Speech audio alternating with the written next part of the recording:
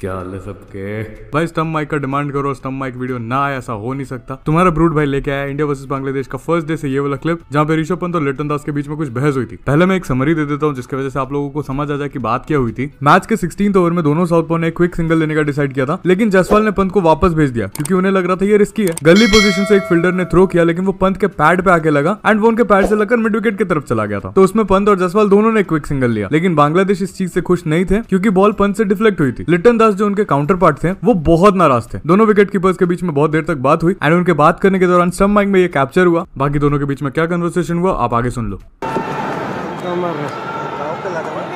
तो देखो, मेरे को क्यों मार